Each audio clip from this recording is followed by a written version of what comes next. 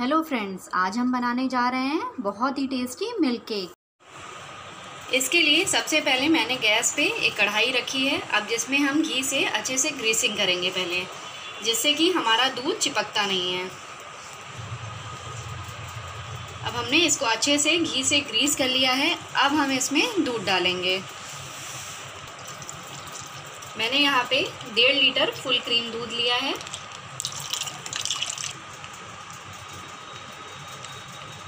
अब इस दूध में हम उबाल आने देंगे पहले और इसको लगातार चलाते रहेंगे, जिससे इसमें मलाई ना जमे अब हम इसमें पहले बॉईल आने देंगे।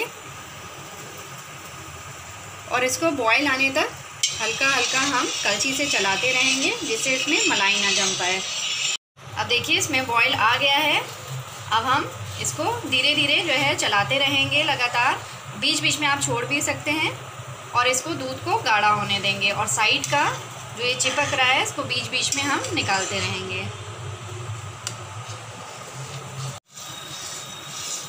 अब देखिए, दूध हमारा अच्छे से गाढ़ा हो गया है, ये करीब हाफ़ रह गया है और किनारे से भी इसके बहुत कम चिपका है दूध, क्योंकि हमने पहले से घी से ग्रीसिंग कर दी थी।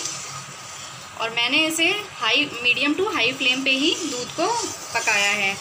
अब हम गैस को स्लो कर देंगे।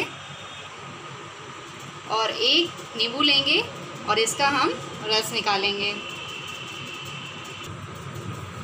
देखिए, मैंने जूस नींबू का निकाल लिया है। ये करीब एक टेबल स्पून होगा।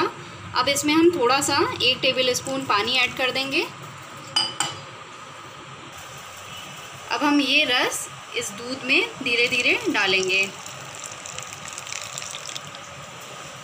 और इसको थोड़ी देर के लिए ऐसे ही छोड़ देंगे, करीब तीस सेकंड के लिए। अब हम इसको धीरे धीरे चलाएँगे जिससे कि इसमें अच्छे से दाने पड़ सकें। क्योंकि आपने देखा होगा कि मिठाई में दाने पड़े हुए होते हैं। अभी हम इसको दो तीन मिनट के लिए ऐसे ही चलाते रहेंगे। अब देखिए इसमें कितने अच्छे दाने पड़ने लगे हैं। अब हम इसको लेकिन और गाढ़ा करेंगे अब देखिए, ये एकदम गाढ़ा हो गया है।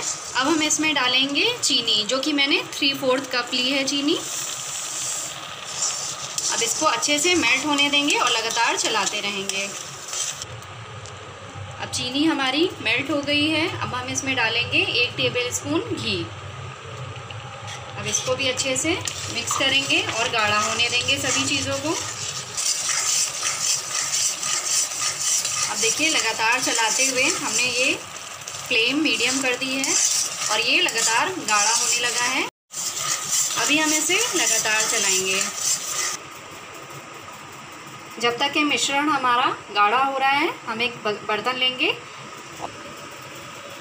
ग्रीसिंग करेंगे इसमें। अच्छे से घी से हम ग्रीसिंग कर देंगे इसकी। किनारों पे भी अच्छे से हम घी लगा देंगे इसमें। अब इसको हमें लगातार चलाना होगा, जब तक ये जमने वाली स्टेज पे नहीं आ जाता है। अब देखिए, ये एकदम ठीक हो चुका है। अब हम गैस को ऑफ़ करेंगे और इसे जमाने वाले बर्तन में डाल देंगे।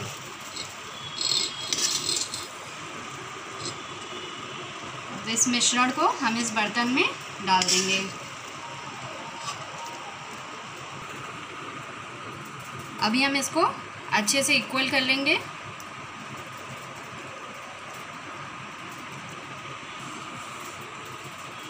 देखिए, ये अच्छे से इक्वल हो गया है, इसको सेट कर दिया है मैंने।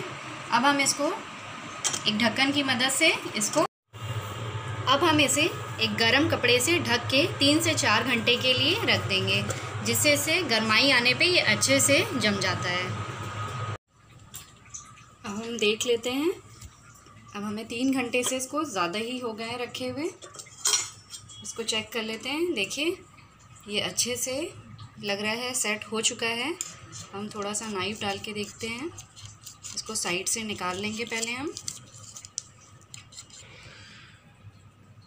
अभी हम इसे गैस पे करीब पाँच छः सेकंड के लिए नीचे से गर्म कर देंगे, जिससे यह आसानी से निकल सके।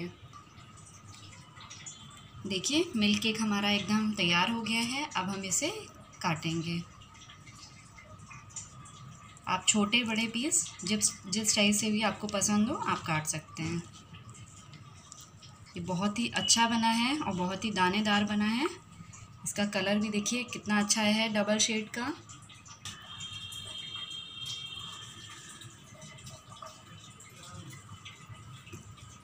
देखिए मिल्क केक हमारा एकदम तैयार हो गया है। थोड़ा सा मैंने नीचे से इसको ज़्यादा गर्म कर दिया था, इसलिए थोड़ा ये मेल्ट हो गया है, नहीं तो ये बना बहुत अच्छा है। आप देखिए, इसमें डबल शेड भी आया है। आप इसको हल्का गर्म कीजिएगा, बहुत ज़्यादा गर्म नहीं करना है, नहीं तो ये इसी तरह मेल्ट हो जाएगा। अगर आपको मेरी रेसिपी पसंद आई तो प्लीज़ लाइक एंड सब्सक्राइब कीजिए। अगर आपने मेरे चैनल को ऑलरेडी सब्सक्राइब कर रखा है तो आप बेल आइकन दबाइए, जिससे मेरे आने वाली रेसिपीज़ का आपको नोटिफिकेशन मिलता रहे। Thank you